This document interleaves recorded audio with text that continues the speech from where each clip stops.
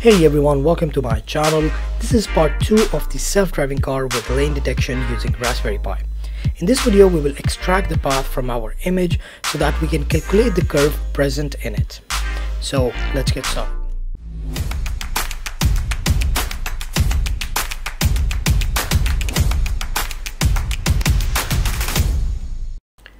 Okay, so the next step is to actually create our uh, function for lane detection. So we are going to write here get lane curve. And as I have mentioned before we just need to send an image to it and it will return us the value of the curve. So we will send it an image and we will return uh, a value of curve. So right now we don't have anything so we will return none so I have broken this uh, lane detection part to actually five different steps. So the step one is basically thresholding. Then we have warping. Then we have the summation of the pixels. Then we have averaging and then we will finally display. So let's start off with the first one, which is thresholding. So as you have seen before, the image that we are using to sum the pixels is basically black and white and wherever we have the lane is where we have white and whatever is the background is black. So we need to come up to this point before we can actually run the summation code.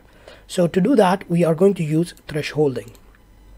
So we are going to perform thresholding based on color because we know that our uh, path is white in color so we can just get the white pixels but you can also do this with canny edge detector or any other type of edge detector because you will get good uh, edge lines. But in this case we are going to keep it simple because we have a controlled environment.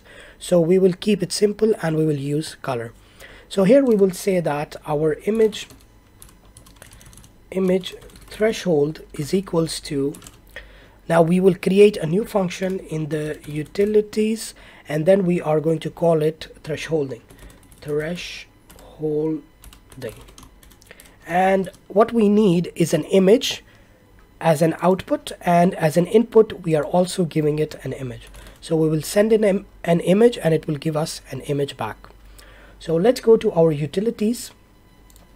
And over here let's import these two libraries so here we will write our function. So thresholding holding holding and we have our image.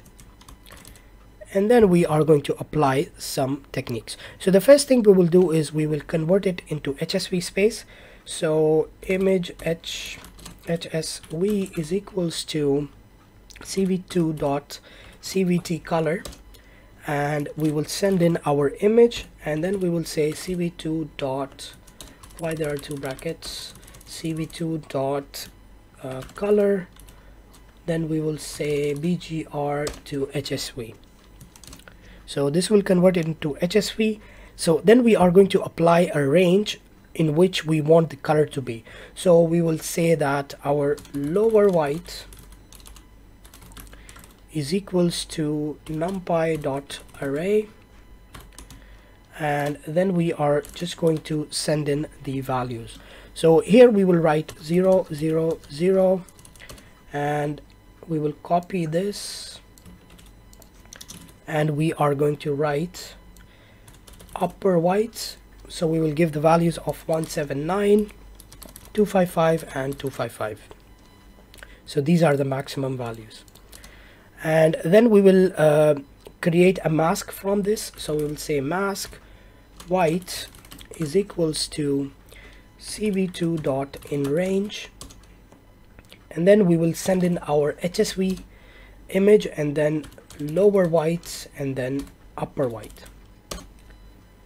So this will give us the color that we desire that we have mentioned over here. Now how can we make sure that this is running properly? So we can return our image uh, no mask white. Mask white and then over here so here we can display so we can write cv2.im show and then we can write threshold and image threshold. So then we are going to call our function which is get lane curve so that we can run this. So after resizing we are going to say get lane curve and we are going to send in our main image so if we run this now so there you go. So you can see that we have our video and then we have the threshold image as well. So now we need to adjust these values to actually get our white area not just all the colors.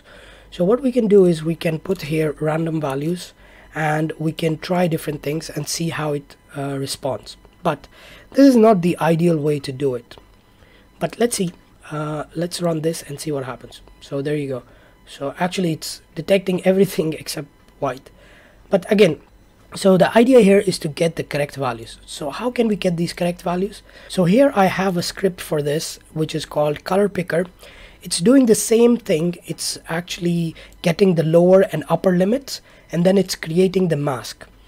And the the added on value is our track bars so we are able to move uh, adjust these values in real time so that we can see the the response and we can get the exact color that we want. Also we are stacking.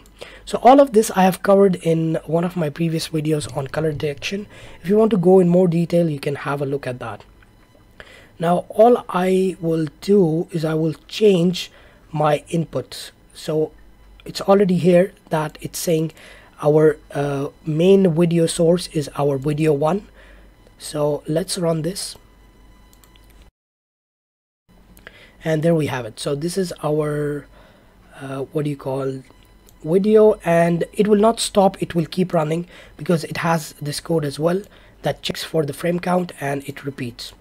So all we have to do is we have to grab these track bars and we can adjust our color value so if I move this around and you can see we have already getting good results if I just move the first one around so we can try moving each one of these and we can see what effect it has and we can try to get the best results now this is actually a pretty lucky case where I am getting it very easily but usually it will take a few tries to get the correct values. So after some tweaking I found that the value of 80 over here and the value of 60 160 over here works the best. So this is the value that we will be changing. So this is uh, the value minimum and this is the hue uh, sorry hue minimum. So we will go back to our utilities and over here we are going to change our value so the first one was 80 and the second one this was 255 and this one was 160 I think. 160 yeah. So if we run our lane detection now and there you go. So now we are getting all the white areas. So that is good to go. So this is it for today's video. In the next part we are going to warp our image. Uh, this is because we can get a bird's eye view of our lane this will help us better understand the amount of curve that is present in our lane. Now if you like this video give it a thumbs up and I will see you in the next one